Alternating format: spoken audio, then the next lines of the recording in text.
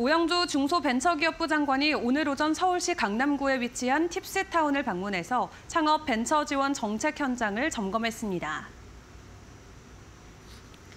팁스타운은 중기부의 대표적인 창업 지원 시설 중 하나로 시장을 선도할 기술력과 아이템을 보유한 스타트업을 선정하고 연구개발과 사업화를 지원합니다.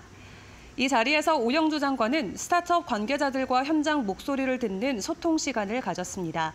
오 장관은 국내 우수한 스타트업이 세계로 나아가 글로벌 기업으로 성장할 수 있도록 지원하겠다고 밝혔습니다.